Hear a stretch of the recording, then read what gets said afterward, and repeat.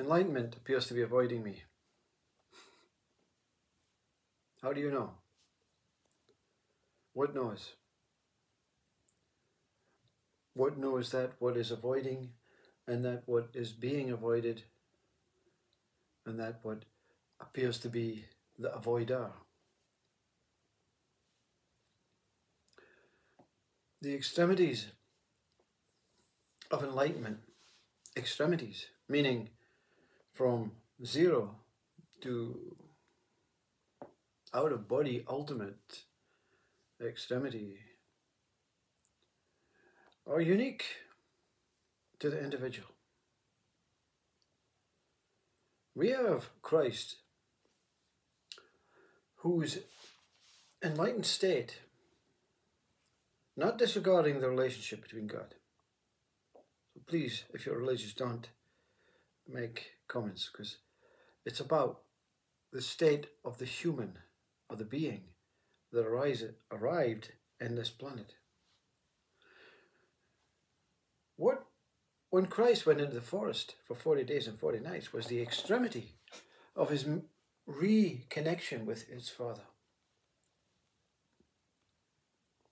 What is your extremity in the car crash that you had in comparison to your friend's car crash, which appear to be similar?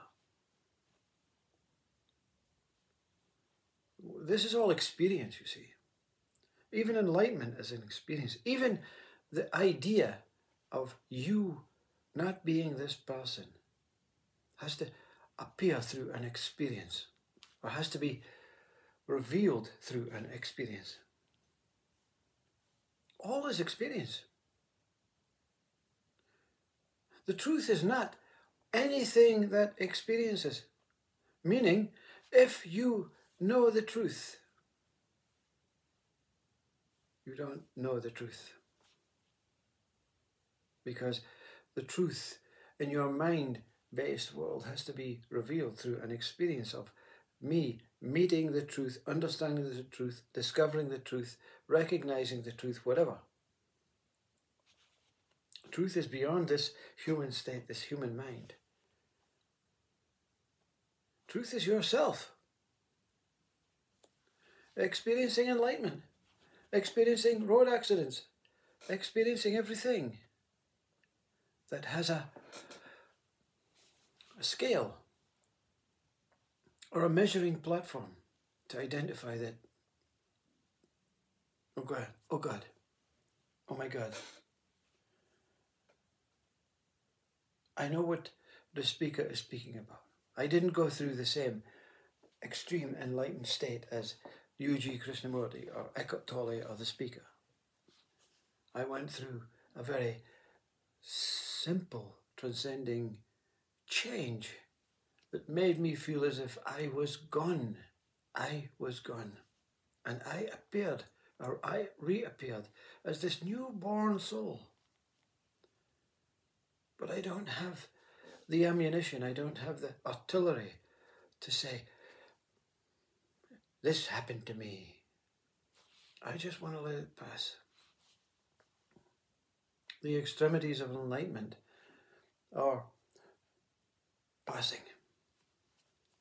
As is your appearing body passing, as is your story passing, as is that what appears to be changing, passing, transcending.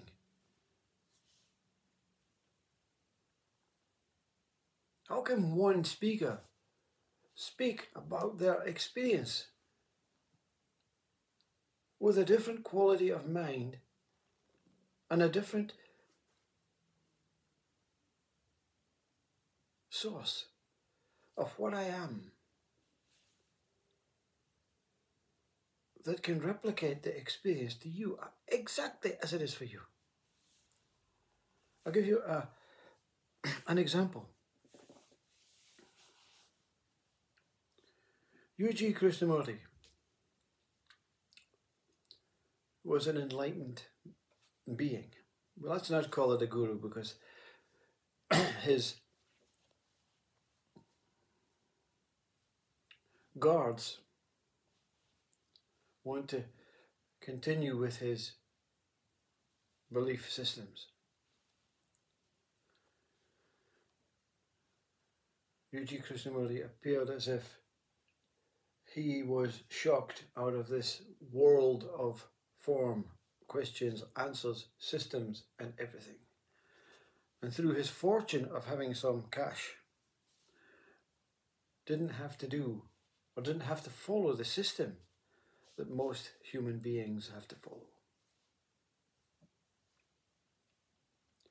U.G. Krishnamurti says his enlightenment led to a realization that everything is biological. You only arrive here, you don't know why you arrive here, who you are, you just appear here, you appear in this body, you go through life, you follow the system, and then you die, and you're fed to the worms.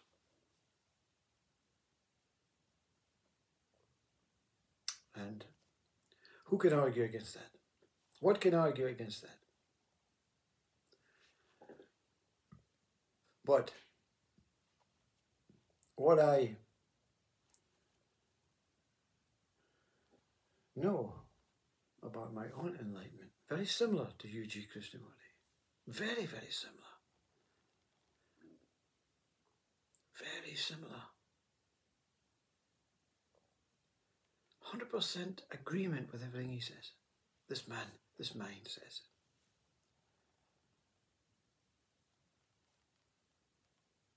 But I look upon that beginning, birth, and end, death, and say, so what? If this is all it is, biologically, if I am simply a biological flesh and bones and blood, one visit person appearing here, in a systematic world that is being controlled by society. Biologically, I love biology. I love the idea that I don't have to worry about the afterlife. I don't have to worry about where I came from. I don't have to worry about God and Brahman and absolute and enlightened spirits and angels. I don't have to worry about them. So, what am I going to be interested in?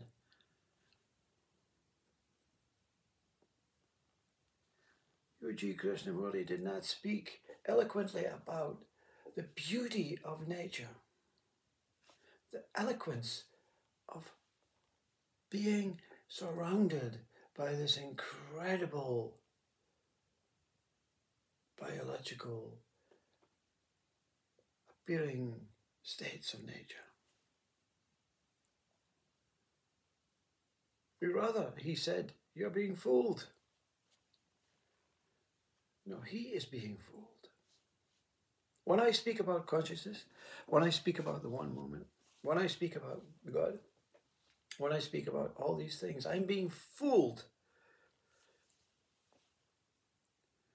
into the truth that I am the truth, fooling myself with so many opportunities, so many possibilities, so many options, so many ways of understanding each and every speaker, each and every past saint and guru. And within myself, this Sad guru also says its own story. Hmm. enlightenment, like life, is extreme. Like pain can be extreme. Like joy can be extreme. But it will pass.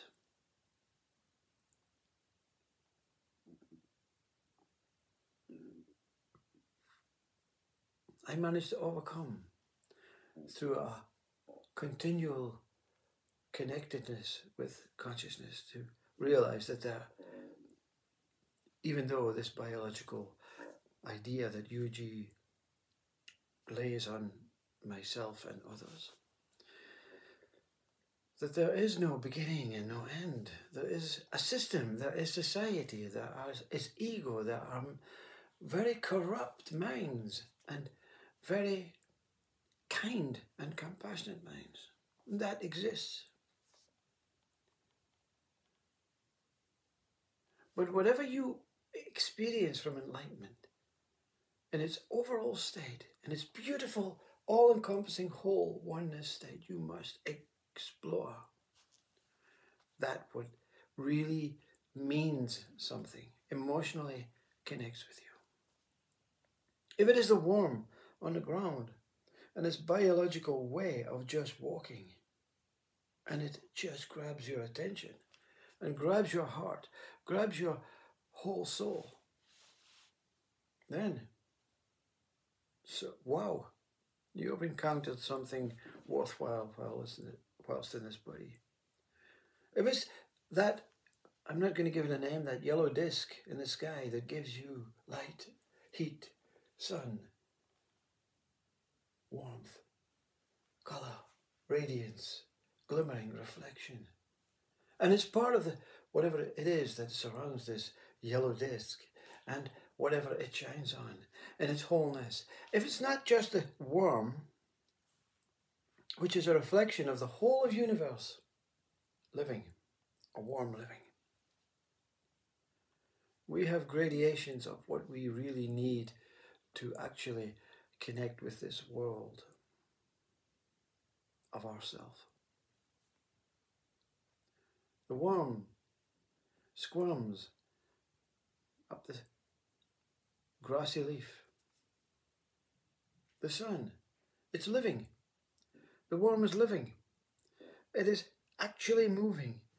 There is a, connected, a connection between you, that living thing, whatever you are, not about you, and understanding, wow, look at that worm. Look at what is taking place. What is the difference between looking at that worm and looking at the whole of this peripheral vision of wonderful beauty and shape and color and movement? What is the difference? What is the difference to looking at God and its extreme state, its profoundly beautiful state that you are not separate from? Everything is living. U.G. Krishnamurti probably was a wonderful man who walked around looking at things and which made him genuinely feel good to be alive. What else do we need? What genuinely makes you good about being alive? What do you know without words and identities and needs and desires and pointings and and all that stuff to make you just smile? What is it that makes you feel hmm, I am complete with no beginning and no end?